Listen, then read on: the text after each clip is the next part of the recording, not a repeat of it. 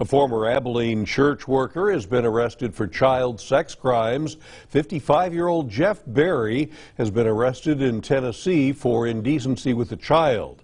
The Taylor County warrant reveals Berry is accused of sexually abusing a child in March of 1996. During that time, Berry was employed in the worship music department at Pioneer Drive Baptist Church in Abilene.